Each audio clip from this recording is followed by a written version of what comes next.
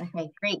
Um, well, good morning, good afternoon. Welcome everyone to the Myeloid Network. Um, we want to start by acknowledging and thanking our very generous um, sponsors um, uh, for their generous support, AstraZeneca and Charisma Therapeutics, as well as uh, UC San Diego Moores Cancer Center for sponsoring this program. We also want to remind everyone about the um, pre-meeting conference at this year's annual SITC meeting, which is in San Diego in early November. And we're hosting a um, all day um, myeloid um, uh, centric themed um, um, workshop. And you can register for that when you register for the SITC annual meeting. And so I'm delighted to introduce our speaker for today, Dr. Malay Haldar. He is a physician scientist at the University of Pennsylvania, where he was recently promoted to associate professor with tenure. His laboratory studies mononuclear phagocytes in solid tumors with the overarching goal of targeting these cells for cancer immunotherapy. Dr. Haldar uh, completed his PhD in human genetics under the mentorship of the renowned geneticist and Nobel laureate Mario Capecchi at the University of Utah, followed by clinical residency in pathology and postdoctoral research in immunology at the Washington University School of Medicine. Dr. Hadler, we're, we're um, very grateful for your um, for you being here today to present your work, and so I'll, I'll hand it over to you. Thank you very much for the kind introduction and thanks so much for the invitation. Um, let me share my screen.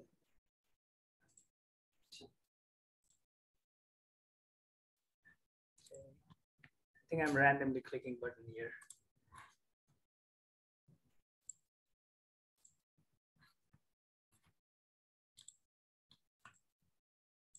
Okay. Um, that looks, you all see the presenter, presenter mode? Um, actually, you had it right the first time. Oh, really? Okay. Yeah, which is strange because we practiced it, it didn't. Good now? Perfect. Awesome. All right. Um, thanks again for the invitation. So, um, as Jennifer mentioned, uh, my lab studies mononuclear phagocytes, macrophages, dendritic cells, etc. Um, I don't have to give a lot of background to this community, uh, but as you know, um, macrophages and DCs are sentinels of the immune system. They're present in almost every tissue in the body. Um, they can sense threats through PAMs. Uh, DCs usually get activated, migrate to the lymph node, um, primes T cells, to T cells, induces T cell response. T cells then come back to the tissue to neutralize the threats. Macrophages uh, can also sense um, these dangers, but unlike DCs, they're usually sessile, they usually stay put and um, regulate the ensuing immune responses by uh, taking on a variety of different uh, phenotypic forms and functional forms like pro-inflammatory M1 macrophage, anti-inflammatory M2 macrophage, so on and so forth. So um, the um, there's a lot of heterogeneity in, in, this, um, in these uh, cells, mononuclear phagocytes, uh, which are basically monocytes, macrophages, DCs. This is an oversimplification, but just to give you an overview, uh, there are different ontological and functional and phenotypic subsets of these cells. DCs can come from hardwired lineage from hematopoietic stem cells by stepwise differentiation um, of um, you know, pre-CDCs, uh, CDPs, pre-CDCs, and then CDC1s and CDC2s. Um, we'll go into this later during the presentation, but CDC1s are very important for tumor immunity as they can cross-present antigens. CDC2s are actually uh, also uh, comprises of, uh, there's some heterogeneity within the CDC2 compartment, and they uh, specialize in uh, communication with CD4 helper T cells. Uh, DCs can also come from differentiation of monocytes, and we call them monocyte-derived DCs or MODCs. Usually you see them during inflammatory setting, and it's usually hard to distinguish CDC2s from MODCs uh, using uh, flow cytometry. Uh, macrophages are also very diverse. If you look in any tissue in the body, you'll find a resident macrophage, and depending on the tissue type, they look different, they perform different homeostatic functions um, etc. For example, in the um, lung, you have alveolar macrophages, Kupffer cells in liver, red blood macrophages, spleen, so on and so forth. Macrophages can also come from, or the dogma in the field used to be that they come from differentiation of monocytes, but we realize now that there is an ontological subset of macrophage uh, that comes from precursors that do not go through the monocytic stage. Uh, these are uh, embryonic yolk sac derived precursors. These macrophages seed various tissues uh, during embryogenesis and are maintained by local proliferation. So uh, generally speaking, my lab is interested in, in, in, identifying different subsets of macrophages, DCs, and environmental factors um, that regulate the fate commitment of these cells into one versus the other. Um, so for the sake of time today, I'll try to go through two stories. Uh, one of them has to do with what regulates monocyte differentiation into macrophage versus dendritic cell and how we can target them, uh, target that aspect for therapeutic purposes. And then the uh, second half of the talk would be um, related to what regulates the differentiation or distribution of CDC1s versus CDC2s. And all of this is going to be mostly focused um, um, to the tumor microenvironment. In other words, what are the factors in the tumor microenvironment that regulates these processes? So uh, the first part of the story, um, actually, um, I mean, the, the, the, initial part is published. I would go over this uh, relatively quickly. So a few years back, uh, we found that some solid tumors, not all of them, produce a lot of retinoic acid. And let me um, put on the, hopefully you can see my pointer here. So uh, these tumors produce retinoic acid, which is uh, then sensed by monocytes uh, through the classic RAR, RXR uh, signaling mechanism. And as a result, um, IRF4, which is the transcription factor important for monocytic differentiation into dendritic cell, is suppressed. And retinoic acid uh, in this setting induces MAFB, which is a transcription factor that promotes monocyte differentiation into tumor promoting macrophage, not just a regular TAM, but TAMs that have tumor supportive function, either directly, uh, which we fully don't understand yet, or through its uh, ability to suppress immune responses. Um, and we made um, several discoveries, which is all in the paper, so I won't uh, go into the details of it. We found that in some cases, tumor cells would produce retinoic acid by default. In some cases, they don't produce it, but once you transplant it into a host, they, uh, due to immune uh, pressure, they will start producing it. And one pathway we found out in that paper was Th2 cytokines. In other words, Th2 cytokine like um, IL-4 and IL-13 would induce retinoic acid production by cancer cells. Then there are other tumors uh, that don't produce retinoic acid at all. They just don't like it. It's a pro-differentiating agent. Uh, so tumor cells uh, don't usually like, uh, like producing it. Um, and in some cases, um, it would be the stromal cells that produce retinoic acid. So we found all of these uh, different permutation combination of this pathway. Um, in that particular study, um, so this is just to give you an overview of how retinoic acid is produced. Um, it is produced by metabolism of vitamin A. The alcohol form is converted to aldehyde form by RDH10. Then um, retinoic acid, which is the bioactive form, it has actually several isomers. The most active isomer is all trans isomer. Uh, and that is formed from the aldehyde form, uh, aldehyde formed by um, these three um, enzymes, RALDH1, 2, or 3. These three isozymes catalyze the same uh, step. And then um, it's a small molecule, it gets secreted by the cells, and then it gets into neighboring cells. In our case, it's the monocyte. And here, retinoic acid then binds RAR, RXR transcription factor heterodimer to drive gene expression. Now, one point to note here is that there are three different RARs, RAR alpha, beta, and gamma, and three different RXRs. So that leads to quite a bit of heterogeneity in terms of um, what transcription factor heterodimers are, are being expressed in a cell.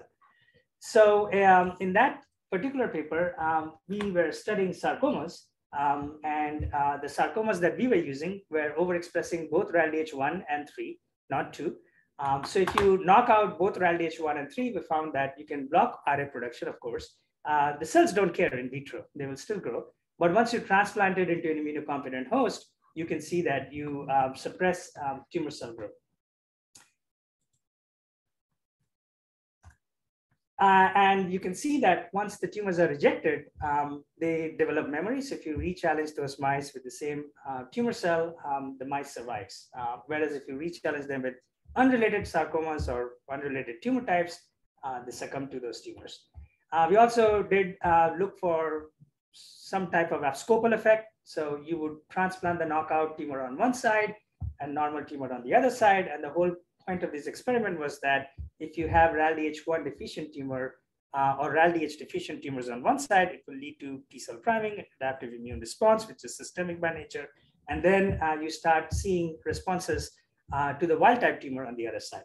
Uh, so the bottom line is um, if you block RA production um, or RA signaling in these sarcomas, you can induce a T cell response. So uh, that led us to think about what are the uh, different ways in which we could potentially um, target this pathway uh, as a new uh, way um, for modulating um, you know, immune responses.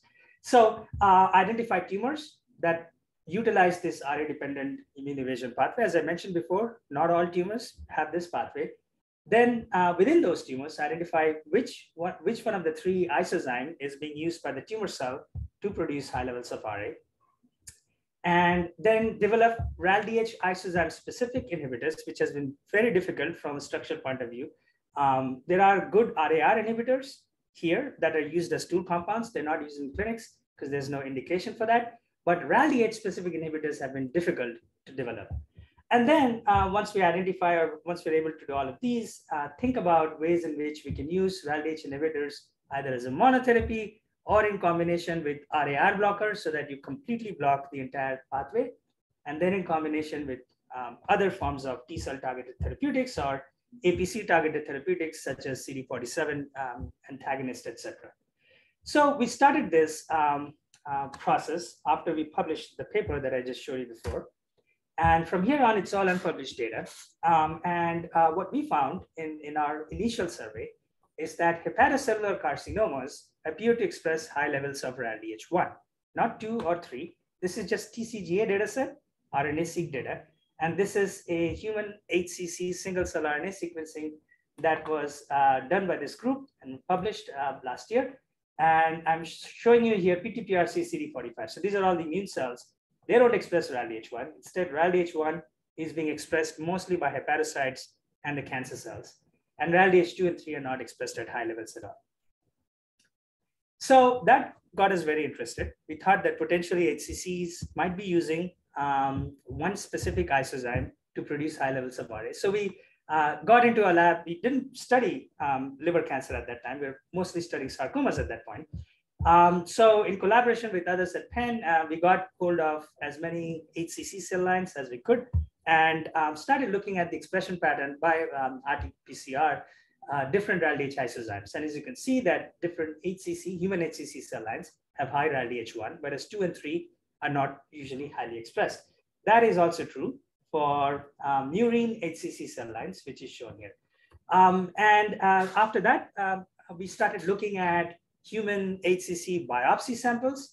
And the types of tumors and the types of situations that we have looked at with IHC are these. So we had looked at, we have looked at primary HCCs in liver, HCCs that have metastasized to other places, other types of tumors, other types of tumors that are metastasized to um, liver, um, and um, so on and so forth. So the idea um, is we wanted to see if high RALDH1 at the protein level is a characteristics of HCCs, independent of whether it's located inside the liver or outside of it. And we wanted to make sure that it's not the liver microenvironment that is inducing RALDH1 expression by tumors. Um, and that you can see here clearly that this is a metastatic colorectal cancer in liver that's negative for RALDH1. Uh, whereas normal liver cells, which is shown here also in this graph here, as well as liver cancer cells, um, produce high levels of RALDH1.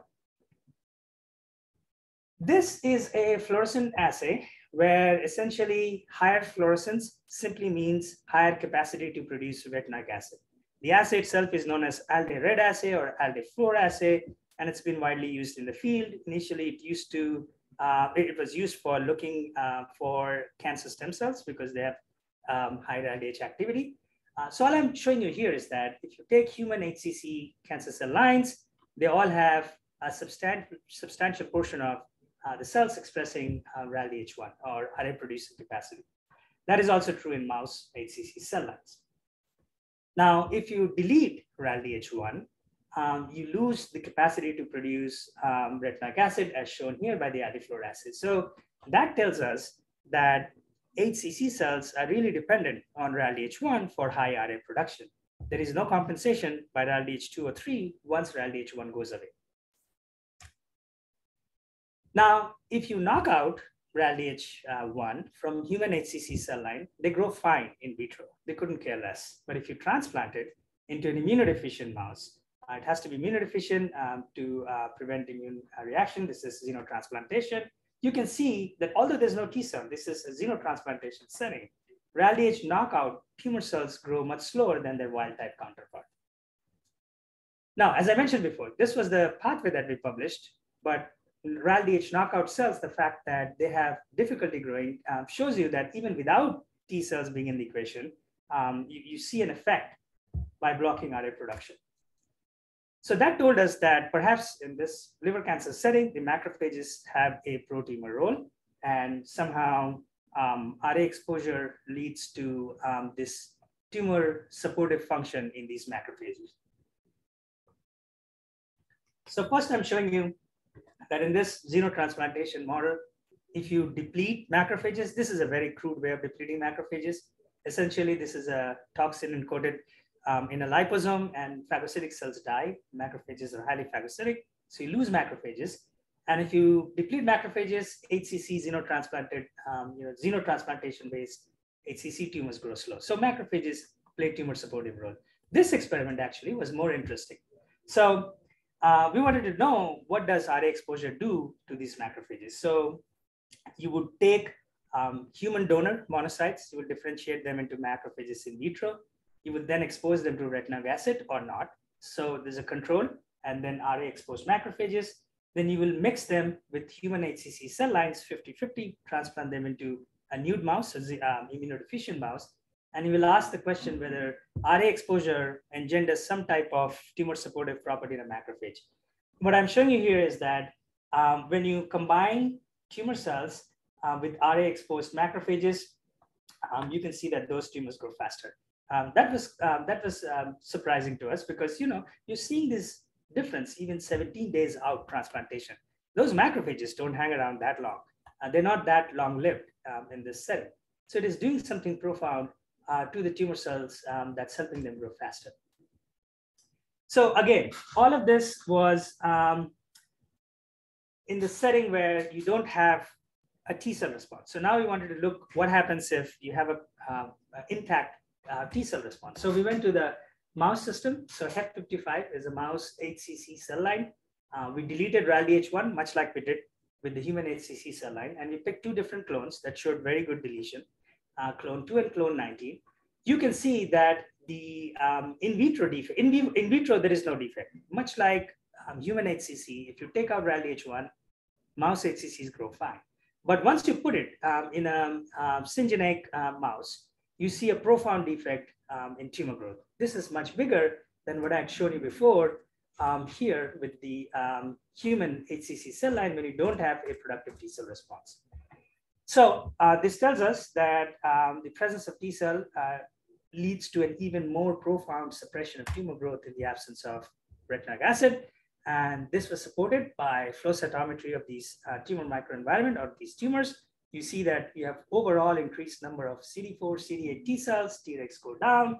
All the T cells have much higher activation markers like CD69, CD44, etc.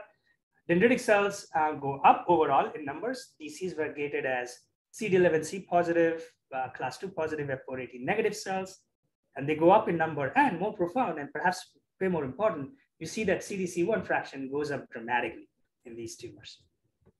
So all of this um, thus far is to convince you that RALDH1 is a good therapeutic target because in, in for HCCs because it looks like HCCs do produce a lot of retinoic acid and they're completely dependent on RALDH1 for this, uh, for, uh, for RA production. So with this in mind, we started uh, collaborating with um, medicinal chemists um, at NCATS, specifically Ganesha and Shiming, and we started developing RALDH1 specific inhibitors. And as I mentioned before, that this has been difficult in the field um, based on the structure of these enzymes. And uh, so these are not through um, chemical screening, these are de novo synthesized inhibitors. So we um, uh, developed a series of these compounds. Two of them show very good uh, characteristics. They are effective IC50s in the nanomolar range, as you can see here. Uh, this is a human HCC cell line. Uh, if you recall, the Aldeflor assay shows you RA production capacity. High fluorescence means high RA production capacity. You add the inhibitor, either one of them, compound 91 or compound 96, you completely shut down um, the fluorescence uh, to the same extent as a RALDH knockout um, cell line. You can see from here that the IC50 for RALDH1, which is the same as ALDH1A1, is uh, better for compound 86. Uh, that's also shown here if you um, calculate how much reduction in aldefluor uh, activity you get with different concentrations of these inhibitors. Um, so you can see that um, compound 86 is more effective. An interesting thing and completely unanticipated, somewhat unfortunate thing we found is that the inhibitors are species specific. We have a partial crystal structure and homology modeling suggests that the critical um, drug and interacting amino acids are different across the species. So the result is they're profoundly effective in blocking RA production in humans, but not in mouse, which is shown here. Um, so um, this again shows that if you add, so moving forward, I'm going to only show you data with compound 86 because it is much more effective um, uh, compared to compound 91. So you can see that in vitro inhibiting retinoic acid production doesn't matter. That's also consistent with what I showed you before with the knockout system. Um, the interesting thing is what happens when you block RA production using these inhibitors in HCC cell lines. So we created an artificial tumor immune microenvironment. So we will take donors, human donors, we will collect their monocytes, and we will differentiate them into dendritic cell in, in the presence of GM-CSF and IL-4. It's a common cytokine mix for generating human dendritic cells. But we would also do so in the presence of liver cancer cells themselves or conditioned media from liver cancer cells. So we would use conditioned media or the cells themselves or those cells that have been exposed to the inhibitor. Um, so as you can see, if you culture, at least in this one experiment, monocytes with GM-CSF and IL-4, 20% or 21% of them will become dendritic cells, marked here by expression of CD1A. And if you treat monocytes with compound 86, nothing happens. It shouldn't because monocytes are not producing retinoic acid. If you differentiate monocytes in the presence of either HCC cells or conditioned media from HCC cells, you do suppress uh, dendritic cell differentiation potential of these monocytes. It goes down from 21 to 8%. In some cases, we have seen very profound um, um, suppression. It, it, varies quite a bit. And one of the reasons is uh, this is all driven through retinoic acid. Um, and retinoic acid is kind of unstable. Um, so uh, we think that the potency um, is lost over time, especially for conditioned media.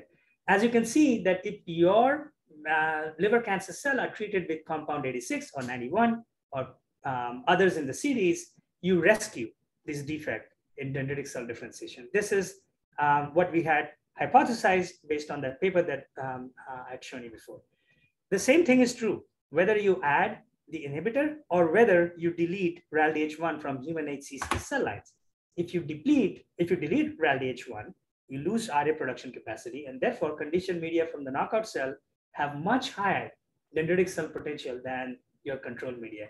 And I don't have the data here, but if you add back retinoic acid to this mix, you can again suppress DC uh, differentiation uh, in this setting of compound 86, if it makes sense. So that told us that this RALDH1 small molecule inhibitor is highly potent for suppressing RA production. So what happens when you actually treat tumors with this? So this is HER7, human HCC cell line. This is xenotransplantation setting. There is no T cell. Very unfortunately, as I mentioned, the compound is species specific. We couldn't use mouse system where you have intact T cell, where we think the effect would be even more profound. As I showed you before, uh, based on the difference between mouse RALDH1 knockout and human RALDH1 knockout. So what I'm showing you here is that um, this is your control tumor in black. You treat it with the inhibitor, the tumor grows slower, almost to the exact same extent as you see with the RALDH1 knockout tumor cells. So the degree of suppression of tumor growth is the same whether you knock out the gene or you inhibit the enzyme. And what's more important is if you try to treat a mouse that has the RALDH knockout tumor, you don't have any additive effect, which means that all of the inhibitors effect was going through inhibition of the enzyme itself. And uh, on the bottom, I'm just showing you dose response. Um, we're still working on this. So a higher dose of this um, inhibitor seems to have a more profound effect compared to lower doses. So now that was blocking RA production in HCCs. What if you block RA signaling on the monocyte side? Uh, so we had a dominant negative conditional um, mouse. So this is expressing the dominant negative RAR alpha. So this is specific to RAR alpha, not, not RAR beta or gamma. And the reason we picked this is because monocytes tend to express higher levels of RAR alpha as opposed to the other two RAR isoforms. So we crossed it to lysine tree. So we, uh, we expressed the dominant negative form of RARs in, in monocytes and monocyte-derived cells. And our hypothesis, if you remember, is RA blockade manipulates, modulates monocyte differentiation. As you can see, um, in, in mice that have um, RAR signaling deficiency, HCC tumors grow slow. This is obviously underestimating the effect, mostly because high, very high levels of retinoic acid can still overcome the effects of dominant negative RARs, and that's known in the, in the field. But the reason I showed you that is to set the stage for the idea that a combination of RAR blockade with RALDH blockade is even more powerful. Granted, the, uh, the uh, downside here is that RAR blockade um, is usually toxic and you anticipate more toxicity because this is a pan-RAR inhibitor that I'm using here.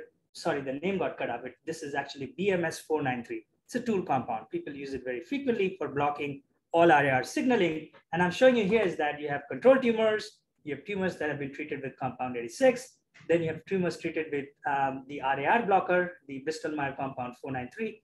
And when you combine both of them, you have a profound suppression of tumor uh, this is human HCCs. So again, xenotransplantation, no T cells here. So uh, where this whole project stands right now is that we have now generated an even more potent form of this RALDH1 inhibitor. We call it C97. It has, it is orally available, bioavailable, with very good uh, pharmacodynamics and pharmacokinetics, great tissue distribution from what we can tell, uh, and a reasonable half-life. Um, and uh, so we are currently, uh, this compound is undergoing rigorous IND enabling studies uh, because if it goes to clinical trial, it will be first in man. Um, these inhibitors have not been tested before. And as a part of IND enabling studies, obviously, we, uh, we have to deal with the issue of toxicity, right? So off-target toxicity, we have dealt with using commercial assays through CROs. It looks good. Uh, we are also doing metabolite ID from uh, basically looking at what are the major metabolites being produced uh, from this compound in mice and man. And if they're consistent, we can use mouse for toxicity assays. On-target toxicity is a problem because this compound has species specificity. To deal with that, we recently made a RALDH1 knockout mouse. So this mouse was made by CRISPR-Cas9. It's a huge deletion, takes out almost the entire RALDH1 gene. The mice are fine.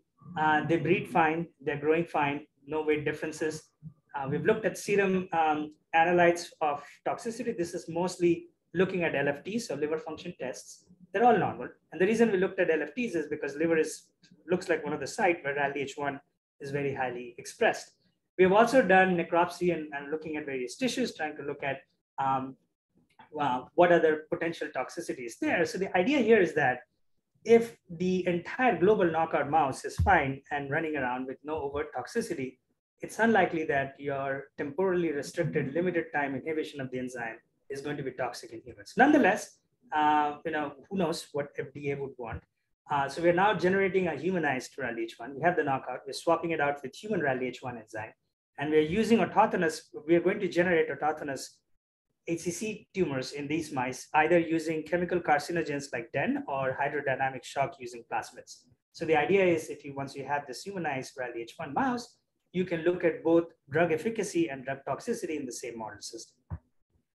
So this is where we stand um, on the first part of the story. And uh, this is just an example of how um, we found something that the tumor microenvironment produces. We, uh, we think we understand somewhat how it actually regulates monocyte differentiation. And we're trying to leverage that knowledge develop new therapeutics to alter the distribution of these cells in tumors and perhaps uh, at some point uh, combine them with other forms of uh, treatment. And this is only specific to HCCs for now, but we anticipate expanding into other types of tumors. So the second part of the story uh, is rather new, and this is again all unpublished. And this has to do with what is it in the tumor microenvironment that regulates CDC1 versus CDC2 differentiation. Now, CDC1 is a very, very distinct population. It, its phenotype is very stable, very uh, easy to identify based on CD103 or XCR1 or CLEC9 expression. And what has always interested me is that if you look in tissues, the distribution of CDC1 specifically is very different from different types of tumors. Tumor seems to specifically suppress CDC1 differentiation. Now, uh, we were very fortunate to have um, Celeste Simon as our neighbor uh, in the floor. As many of you may know, Uh, she's a very well-known, um, you know, person studying tumor metabolism and also tumor hypoxia. So Celeste uh, got me interested into um, the issues around glutamine. So uh, as you know, this, um, as you may know, this is a conditionally essential amino acid in anabolic states or rapidly proliferating cells. This becomes essential. Otherwise, it's the most abundant amino acid in the body. And targeting glutamine utilization um, by tumor cell is a promising therapeutic uh, approach that's been under investigation actually for quite some time. So uh, the other reason uh, that I didn't mention of why uh, we went down the glutamine route is we study sarcomas. That has been a long-standing interest of mine since my graduate school days. Um, and sarcomas are glutamine, many of the soft tissue sarcomas are glutamine auxotrophs. So they use glutamine to such an extent that they would create a glutamine deficient microenvironment. And, and that was known. And so that was the other reason uh, I was interested um, in, in this connection between glutamine and immune microenvironment. So one of the first things we did was, okay, if we were to reduce glutamine uptake by the tumor, what does it do to the tumor microenvironment? So we have to reduce glutamine utilization, not completely block it, because GLS is uh, GLS1 is the enzyme that converts glutamine to glutamate, which is a major pathway by which glutamine gets used up by the cell. And if you completely, most of the soft tissue sarcomas overexpress GLS or GLS1. If you completely block it, uh, we are worried that the tumor would stop growing. So we took a short hairpin approach, pretty good knockdown. Um, this is measuring glutamine using a YS, uh, YSI metabolite analyzer and essentially looking at how much glutamine is being utilized by the cell. So we essentially measure glutamine in the control media and then the media containing either the control cells or the cells where you have knocked down GLS. And so the bottom line here is that if you knock down GLS, you do get less glutamine utilization, and that by extension leads to increased glutamine availability um, in, in this media, and by extension, uh, in the tumor microenvironment. So we took these tumors, and these are all mouse fibrosarcomas. So these were generated in a black six background mouse by um, methylcholine-3, which is a chemical carcinogen. These mice produce tumors. This is a very uh, common uh, tool uh, of uh, tumor immunologists. And then um, you maintain these um, cancer cells um, as a cell line. And, and we have modified this in, um, uh, by knocking down the different, you know, knocking down GLS. And then we transplant them into a syngeneic B6 mouse. As you can see, um, that there is no growth difference, not, not any, uh, not a significant growth difference, which we had anticipated because it's not really a knockout, it's a knockdown. What was interesting is that we find that knocking down GLS and therefore increasing glutamine level in the microenvironment leads to uh, uh, a specific increase in CDC1s by as a percentage of DCs as well as overall uh, cell number per gram of tumor, but not so much in CDC2s. And here in the box, um, I'm showing you how we have gated DCs here. Uh, so this is CD45 positive, 11C class 2 positive, and F480. Sometimes we use CD64 uh, to rule out macrophages. And CDC1s are characterized by either XCR1 or 103, positivity and negativity for CD11B. So that, that was interesting. So now we wanted to completely block all glutamine utilization. So before I showed you inhibition, of GLS, or rather knockdown of GLS, um, glutamine gets utilized in many, many different pathways, purine synthesis, glucosamine synthesis. There's also redox pathway that I'm not showing you here um, through glutathione production, so on and so forth. GLS inhibition just inhibits one pathway.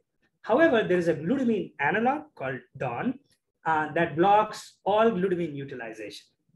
Now, if you use DON, you see a much more profound effect. Well, first of all, the fibrosarcomas now start growing slower. They were not growing slower when you had GLS knockdown, uh, but here they're really slow, which comes back to my concern that if you really block glutamine utilization, the tumors will start growing slow. DC's overall numbers go down percentage. CDC1 show profound reductions, but not CDC2s. That was interesting. And we started thinking that perhaps this is somehow a model specific thing. What about another model of sarcoma?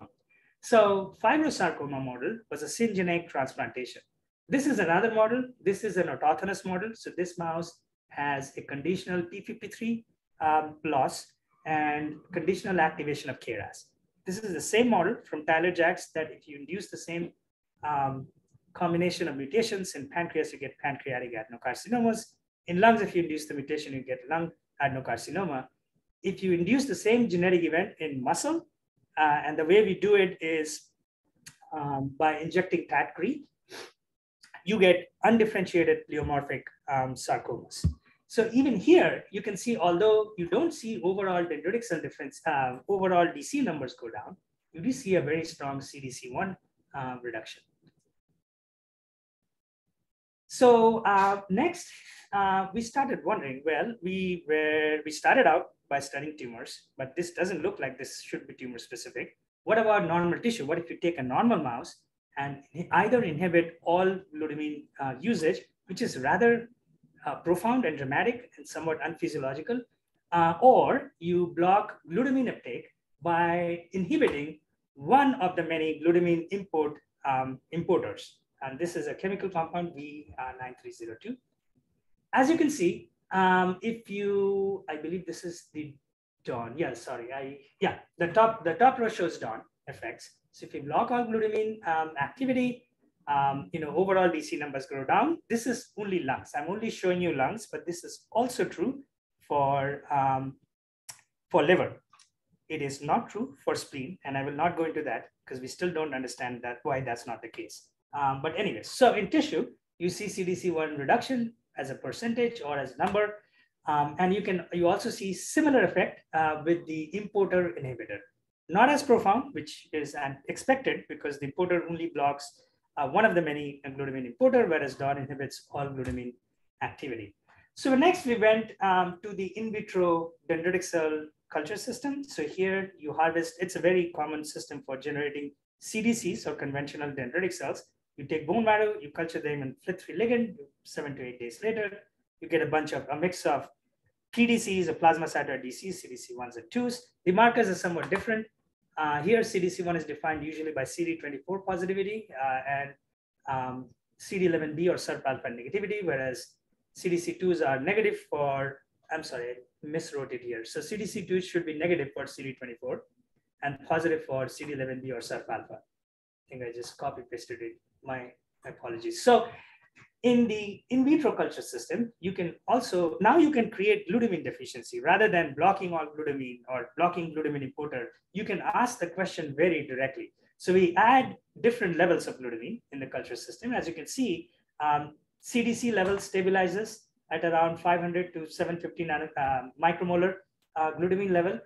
CDC2s as a percentage of all DCs remain stable, whereas CDC1s um, rapidly drop in percentage once the level starts growing below 500 um, micromolar. Now, plasma levels of glutamine are usually at 500 micromolar. And from other people's study, tumor interstitial fluid or TIPS have concentration of glutamine around 50 to 100 nanomolar. I'm sure that differs between different tumor types, but I'm just quoting a number based on one study. So the reason I mentioned that is this is consistent with what might happen in the tumor microenvironments. Low glutamine translates into a rather selective defect in CDC1 differentiation. So we then did a single cell RNA sequencing um, because you know we are just looking at one or two markers here by flow cytometry, and the answer was pretty clear. You do have a profound defect in CDC1 um, numbers in those cultures. Based, I'm just showing you some commonly used markers for CDC1s, um, XCR1, CLIC9A, TLR3, BATF3, which is a transcription factor specific to the CDC1 lineage within DCs. So that was glutamine deficiency in a controlled in vitro culture system. So now we add DON or the glutamine importer in the culture system. And the bottom line is we end up with the um, exact same result. Uh, DON has a profound effect on CDC1 differentiation um, as a percentage of all DCs, but also as a number. Um, CDC2s don't suffer as much. And the same thing is true for V9302, the glutamine import blocker. So what's going on here? Um, is it, are you blocking differentiation of CDC1s? Are you blocking uh, survival of CDC1s? Are you blocking proliferation of CDC1s? Or is it just an influx of the progenitors uh, in, the, um, in the tissue itself, which is unlikely because we can recreate the phenomenon in vitro. So um, this is one of the um, um, you know hypotheses out now that in the bone marrow you have MDPs, uh, macrophage DC progenitors that gives rise to common CD progenitor. And then you have pre-committed CDC1s and CDC2s uh, that are called pre-CDC1 and pre-CDC2s. Uh, so we are using one of the panel marker panel or flow cytometry gating strategy that was published. Uh, this is from Ken Murphy's lab. And here pre-CDC1 is defined as lineage negative, FLT3 positive, et cetera, et cetera, shown here. And if you use this gating scheme, you can see that down treatment, even up to nine days, it does not lead to reduced numbers or frequency of pre-CDC1s or overall pre-CDCs in the bone marrow or in circulation. The data here is only showing for bone marrow, but we've also looked at uh, in circulation, which is very difficult because they're really rare cells. And we had to use a lineage reporter called uh, ZBDB46 GFP lineage reporter to make sure that it really is pre-CDCs in the bone uh, in the in the circulation that we're looking at. So we've confirmed this in bone marrow as well as in circulation. So it's not differentiation, or at least it looks like that. So what is it? Proliferation? I mean, CDCs can proliferate. It's not great, but to a certain extent, they do proliferate in lungs, and it has been shown before. So we looked at uh, Ki67 um, staining by flow cytometry, as well as um, activated caspase 3 um, um, staining uh, to look for proliferation as well as uh, cell death induced upon glutamine antagonism. As you can see here, this is shown in lungs as well as in culture system. Um, the percentage of proliferating CDC1s go down, but that's also true for CDC2s. So both CDC1s and CDC2s go down uh, in terms of proliferation. So that can't explain, at least uh, that is not an obvious explanation of why CDC1s get affected selectively. But if you look at um, active caspase 3 staining, there is a much bigger induction of cell death um, within, um, uh, within, um, within CDC1s. Um, so this is in the lungs. And that's also true if you look at cell proliferation and uh, cell death in vitro. CDC1s and 2s um, both have reduced proliferation with glutamine antagonism, but there is a bigger effect in cell death within the CDC1 compartment.